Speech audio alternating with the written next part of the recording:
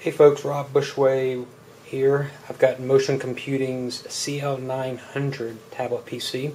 This is a touch and active pen uh, tablet PC. Um, we're going to do a little bit of handwriting uh, to sample this for you.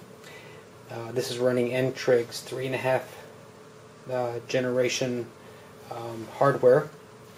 Uh, so let's go ahead and launch OneNote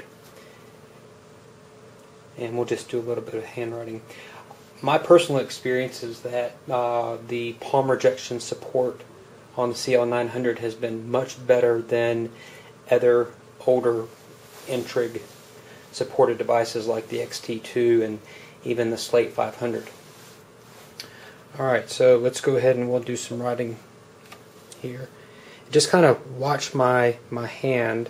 Gonna, I may end up moving it up and down and I've noticed that if I um, if my hand touches first before the pen comes into range with the digitizer, at that point I may I may generate a um, a touch aspect or maybe a vector or like some stray ink, um, but it, it does not happen very often.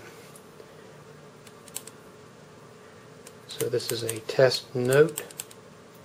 Now I'm going to lift up my hand, go back down here, and it's holding up quite well. Test note.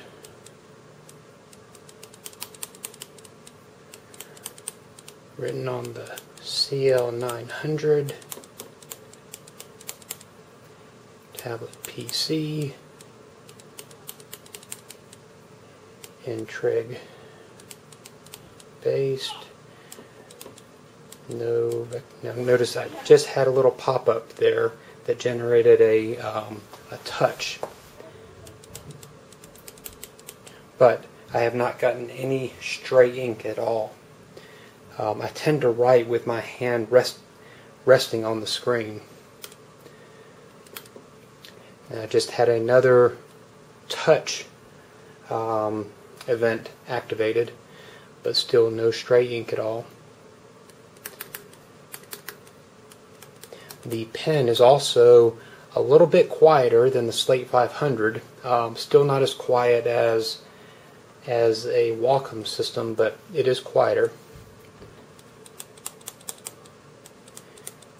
At this point, if I would have written on um, older N-Trig units, I would have had stray ink all over the place. It would have been a mess. And I am running this on uh, the dual mode setting. N-Trig supports auto mode and dual mode, and um, the dual mode will allow it's supposed to sense, um, have a better sense of touch and pen at the same time, whereas auto mode will allow you to double tap and then turn the pen on, on and off. Actually, turn touch on and off with the, with a double tap.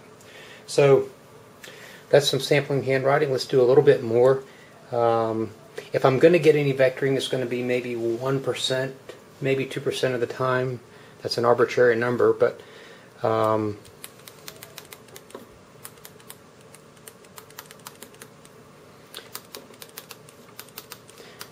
this is the CL900 tablet PC active pen is Great. So there you go, and you notice I can I can hover around. Um, show me how you can do this on an iPad, and this is just great. You can't can't beat an active pen. So anyway, this um, that's some sample handwriting. You notice that I did get uh, some false touches there, but I didn't. I had not gotten any vectoring. I have experienced some vectoring or stray ink every now and then in other tests that I've done. But as you can see, it's, it, it is very rare. So this is Rob Bushway. Uh, I just wanted to thank you for checking out this handwriting demo, and I'll be sure to try to post some more demos here later.